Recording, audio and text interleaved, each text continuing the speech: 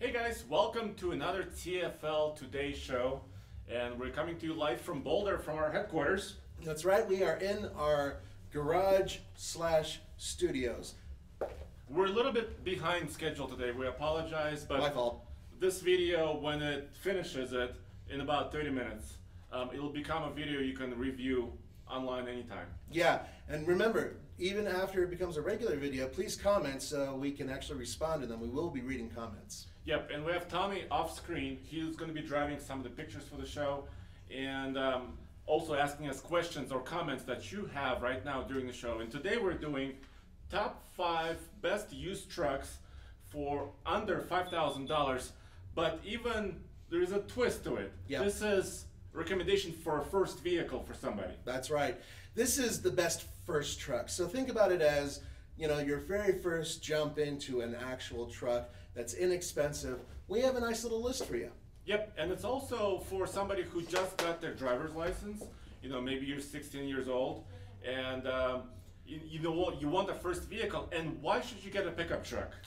One thing about pickup trucks, which a lot of people out there who have never driven one don't quite understand, is that they are, by comparison to a car, very easy to work on. They are rather logically set up. They have, well, in most cases, they have an engine in the front, they have a drive shaft, and then they have a rear end powering the rear wheels, with the exception of the Honda. We won't go into the other ones. But the point is, is that they usually have a lot of parts available, especially these really old, cheaper trucks. You can go to a wrecking yard or order online lots of parts that are not that expensive. Yep, and also a first truck or a first vehicle for anybody. You know, you can learn your mechanics, right? You can fix it. You go under the hood. It has a frame, and um, you can do a, a lot of different things with it. You can also move. Yep. Let's say you're going off to college. You can put a lot of your stuff in the back of the truck. You will be popular amongst your friends when you have a pickup truck. Yes, so all these things are good. And the used truck, first of all, it's inexpensive to buy. Yep, You don't pay a lot of taxes because it's inexpensive. that's right. Um, and you can modify it. Some of these older ones actually get pretty damn good gas mileage too. And there are a bunch of uh, smaller pickup trucks that are not on this list, like the like from Mitsubishi Mighty Max and whatnot. And those are other trucks definitely to consider. But the ones we have on this list definitely are worth a quick look. And we're going to start off with number five with the Chevy S10.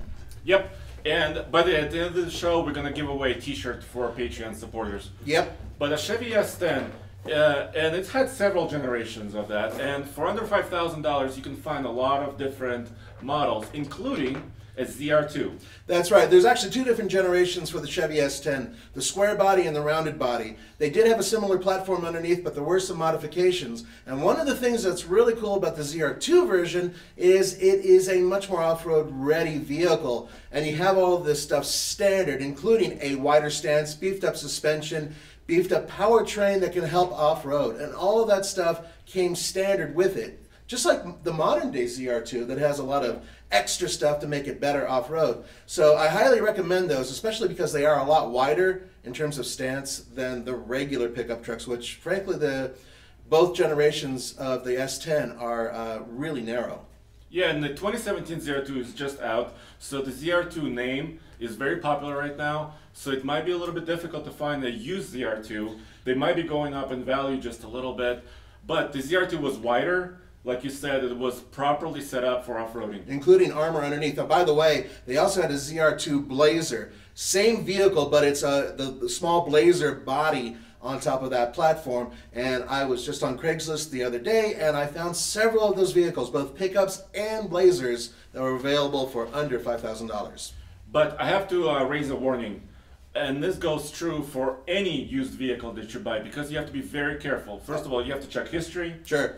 You have to check for common, you know, repair items that may or may not have been done. That's right. And the 4.3 liter V6 and the Chevy S10 um, had a common problem, an oil pan leak, which was difficult to repair. So watch out for those things. Yeah, absolutely. And also keep in mind that any vehicle that actually comes from the factory that's built for off road, well, some people will, will take them off road, which means it may have lived a hard life. So definitely look at the documentation for how it's been taken care of.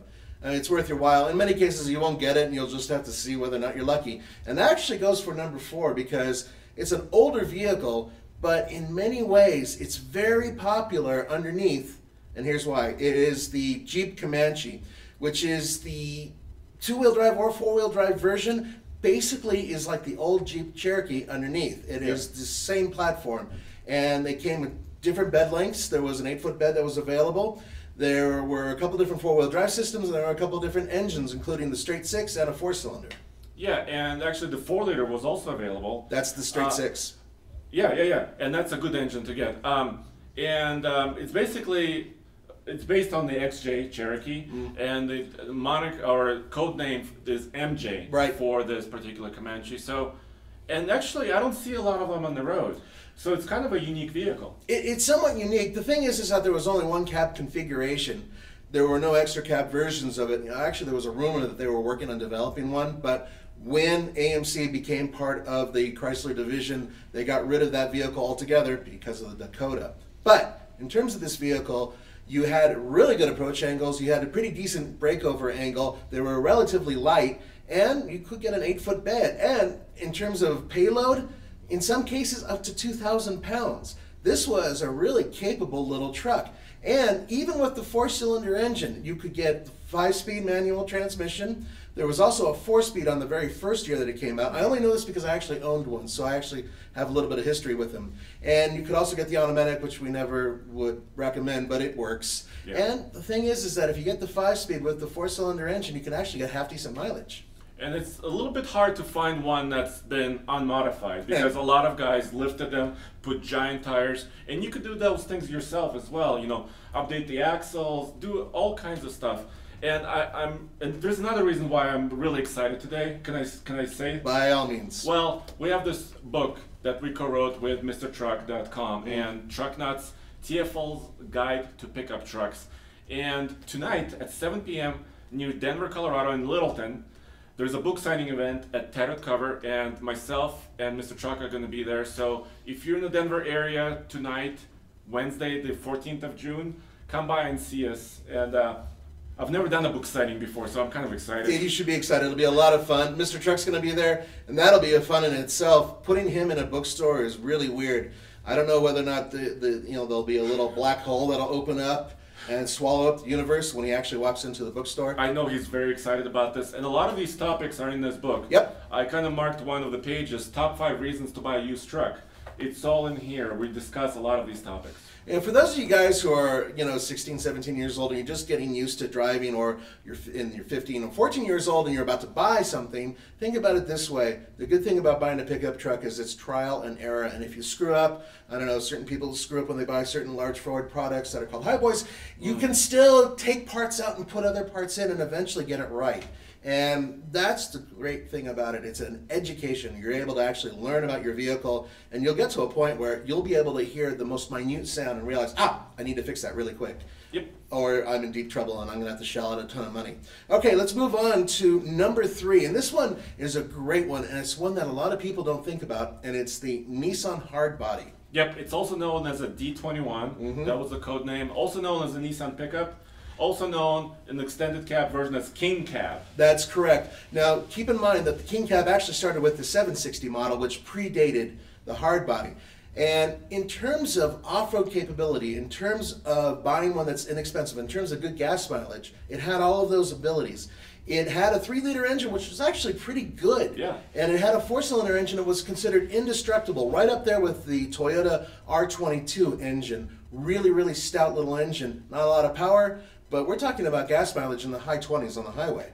Yeah, and it's actually currently very inexpensive. Yep. We're talking about 1994 through 1997. Those kind of the years of the hard body. You can get a four-wheel drive version, which is you know a lot of fun for us in Colorado especially. Mm-hmm. And um, that legacy actually continues now because we have a long-term pickup truck, Nissan Frontier, which is also very inexpensive for a brand new truck. So uh, with a four-cylinder engine. So you know Nissan has that history of building kind of dependable, inexpensive trucks. And one final thing with, with the whole Nissan thing, uh, predating 94, they were also called hard bodies, but back then they were either called Nissan Datsuns or Datsun Nissans, depends on where you are in the world, Yes. until they got rid of that and finally just said the name is Nissan and, and went on from there.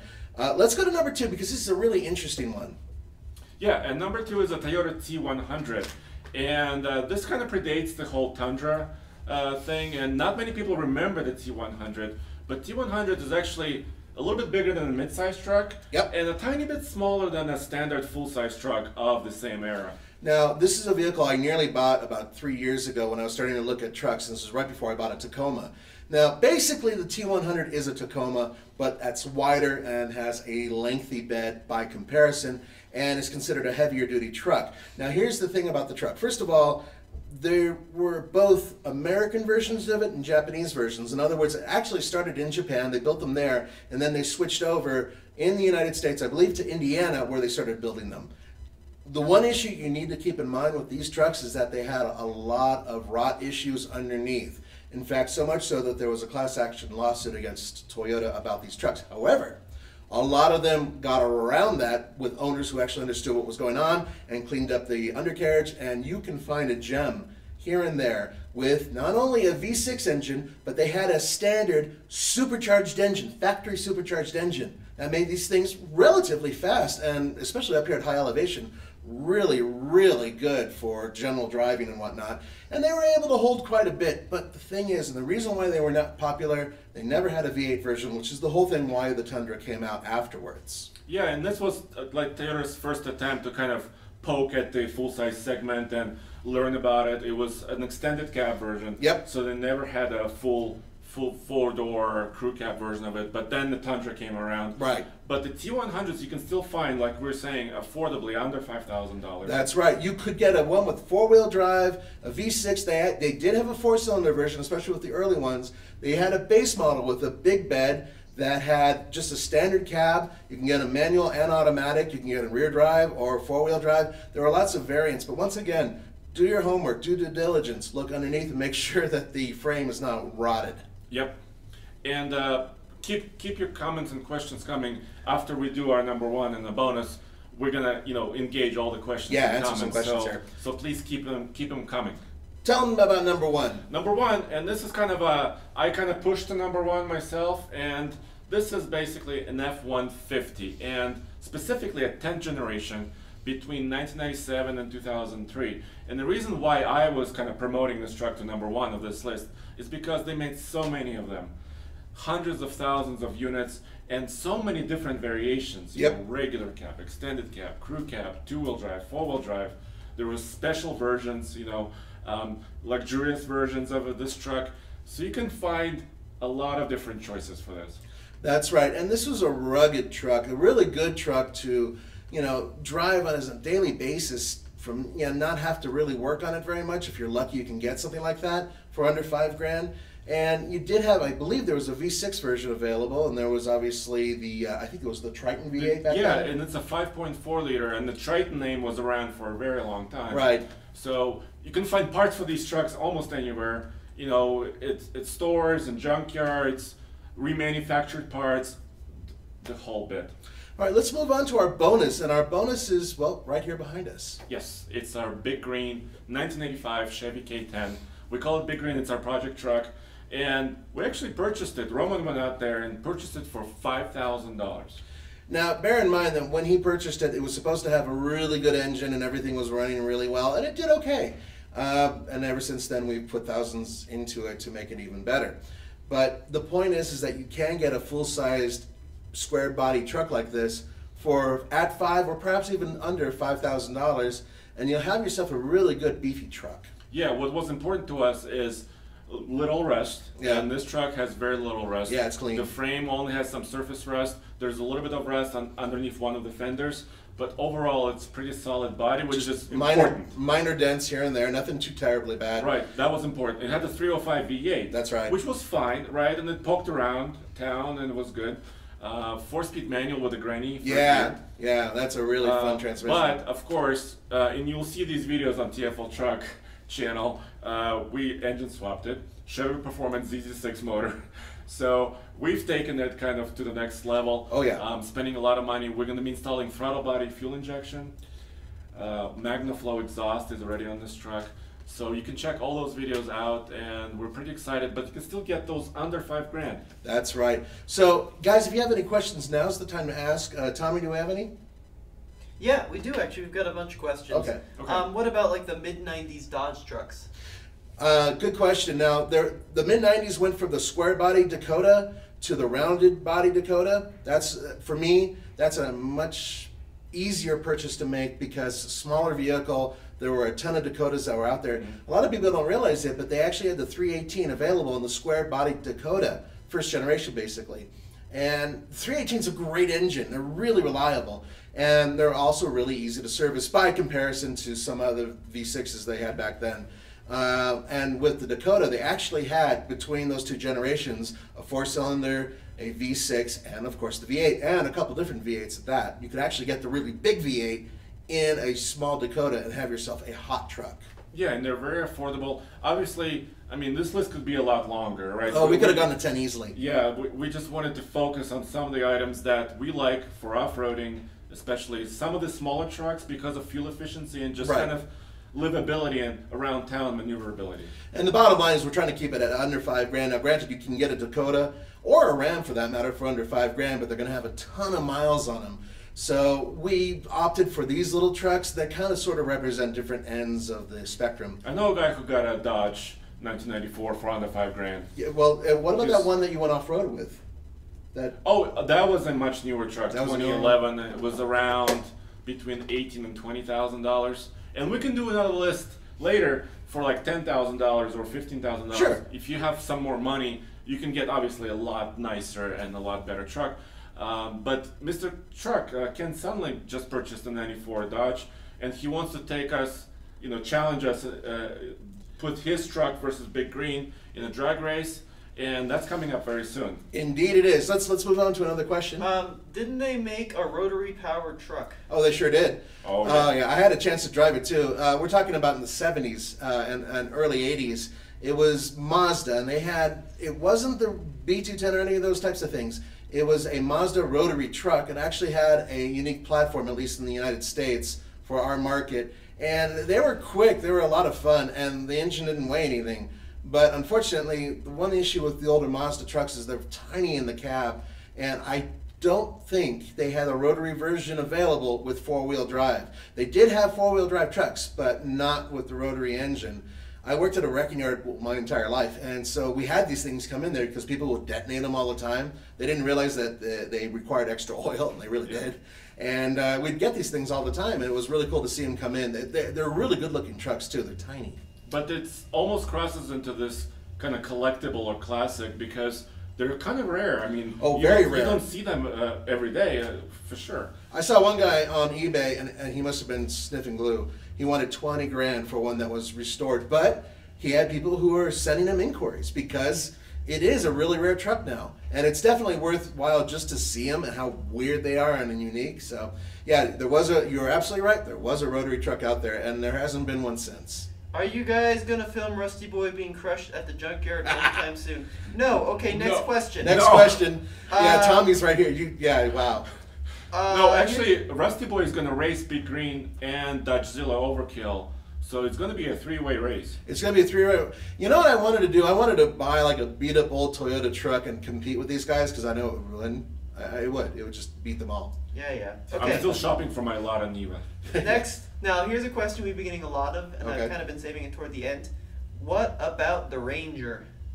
The Ranger, that's obviously in the same vein as the Chevy S10. Yep, it is. Um, with the Ranger, I only had, believe it or not, uh, my parents had one as a third truck, and it was the final generation in the United States. And my brother had the very first generation Ranger, which had a four-speed manual transmission with a four-cylinder engine.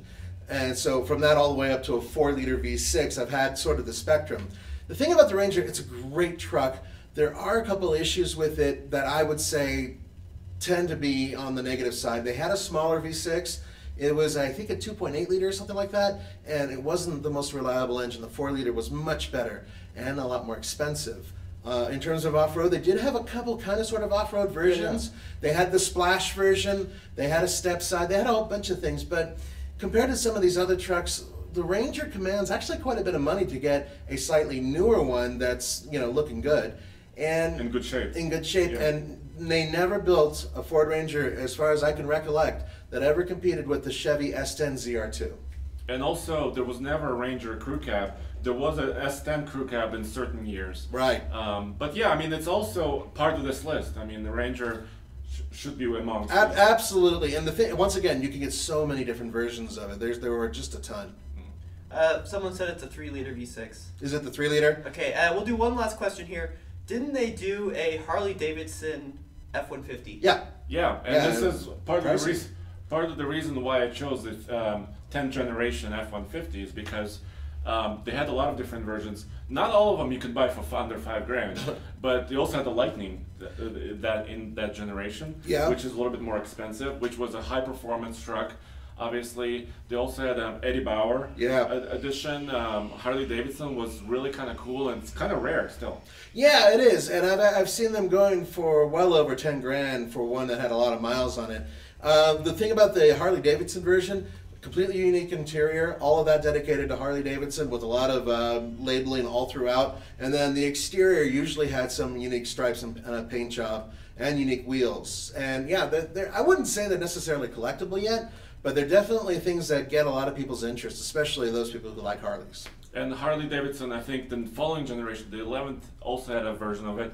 And they also did the Super Duty in the Harley Davidson. That's right. And I really like the black and orange. That theme uh, was really, really cool. Yep. Any any more questions before we move on to the T-shirt? Um, Bronco. Uh, well, there are a couple different Well, generations of Bronco. We yes. had one. Uh, the final generation of Bronco, I like to call it the OJ Bronco for Right. obvious reasons. Sure. Um, those things are a dime a dozen. I am not a big fan of the twin I-beam front suspension that was on some of them uh, at all. The earlier ones had a much more conventional setup, like the one we had. The original. Yeah, Yeah, the, the original. original Bronco. I used to own a GMC Jimmy, the same thing as the Blazer, and that one for me was a much easier vehicle to work with and work on. Had the same Saginaw four speed that this truck has, and frankly speaking, I thought it was a better vehicle, which is why I bought it. Yeah, and why don't we do, uh, give away the shirt? Um, so uh, we appreciate your support, and one way you can support us is on Patreon by going to patreon.com slash tflcar. Yep. You can donate a little bit of money, two or five or ten dollars to us, and it, we want to give back, obviously, as much as possible. So we pick a name at random and give away this TFL truck and car shirt, and we usually sign the sleeves. So uh, this one was signed by our CEO, Roman, Roman yep. Mica. Yeah. So and uh, so we put our names on, on the shirt as well. So uh, I picked a name at random today, and AJ Mayer um, was the was the guy. So I really appreciate your support, and I'll send you an email. And if you would like a shirt, we'll send it to you. And if you don't want a shirt, we'll send it to somebody else. I'll, I'll give it to you. Oh, I could always use one that's been signed by Roman. Gosh. Hey guys, thank you so much for joining us. Once again, if we didn't answer your question, remember this will turn into a regular video in a little bit. And go ahead and put your question in there, and hopefully we'll be able to see it and answer it. Yep. Thanks a lot for joining. Adios.